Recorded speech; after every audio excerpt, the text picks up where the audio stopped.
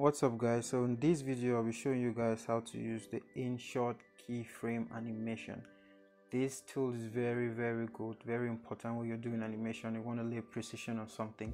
You can use it to move elements from one point of your video to the other. All right so let's get right into it. So i'm going to start a new project. Let me take uh, a cool video and just start a new project so we can use this on it. All right cool now I'll be using this video. So first let's say let's use a sticker. I'm going to use it on a sticker text and also on the main clip. So let's say I want to use it on this uh, what sticker should I use? Hard sticker. Alright for example I want this sticker. And put it here. First let me get this sticker to the end of my clip. And then click on end of clip. It's going to be at the end of your clip. If you had so many clips then you can click on it can click on this little arrow here and take end of video but we have just one clip and the one clip makes the video.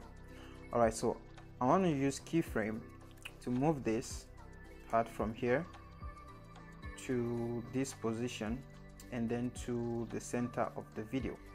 All right so let me show you how that is done. Now move your timeline this is your timeline. Be very vigilant of this line because when you add your keyframe this is the keyframe button. That's wherever the line is that's where it's going to start working. All right so i want you to start here. So i'm going to click on my keyframe. Now to make my animation work i'll move my timeline a little bit. Let's say to wherever position i want the keyframe animation to work. So i want from this point of this triangle this triangle indicates the first keyframe to this one where the line is. I want this to move from here to this point. Alright so I'm going to move it with my finger to that point. When I remove my finger you see another triangle is going to pop up on the timeline on the timeline here showing you an animation has been done okay? So I'm going to shift the timeline again to wherever I want. Use my finger to move the heart to the center. Now let me play the video. You can see we have three triangles indicating the keyframes that we've added. So play it. It's going to go to the top and to the middle. Okay you can also do this for text. Let's try it with text. So i'm going to delete this. Let's try it with text. I'm going to write my name. All right. So i'm going to take it to the end of my clip as well. Now let's go to keyframe. I want my keyframe to start the very beginning of the video anyway. Let me put my my name here. So i want you to move here. I want you to move from here to here. And then to the middle. And it's then it's going to zoom in and zoom out. So we have some animations to do. So this is not the normal intro and outro animation okay? It's keyframe. So let me shift my timeline a little bit. Then I'll apply my keyframe keyframe. Now shift my timeline to this position. I move my element to the top. I see another triangle is going to appear. I shift it again to this position. I move it to the center. I shift it again. I'm going to make it to shrink zoom in. I shift my timeline again. Then I'm going to make it to zoom out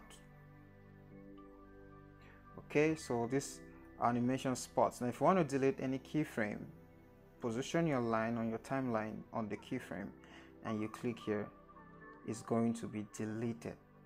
So now let's play the video and see what happens. Center and zoom out okay? So that's how keyframe works. And you can also use it on the main video the main video clip. For example this is our main video clip okay? Now if I click on key, keyframe here let's say I want this video to zoom in. Let me go somewhere around here. I want this video to zoom in say around here. I click on keyframe. I'm gonna have one on the video and I move it to let's say here and I want it to zoom in. I'm going to expand it with my finger. Another one is going to appear and let's I move it here. Now I need to zoom back to the normal position. So we have three. So play the video and see what happens. The one we did for the text is going to work. And when you keep playing the one we did for our main clip is going to work here. Zoom in zoom out see? So that's how keyframe work. And when you're done with it and you want to delete any keyframe just go back to the position that you applied it and click delete. Now you're done with your video you can save it in your device. You can use it on text pictures videos. The main clip on your video you can use it on any element when you're editing. So that's all for this tutorial guys. So see you in my next video. Thanks for watching don't forget to save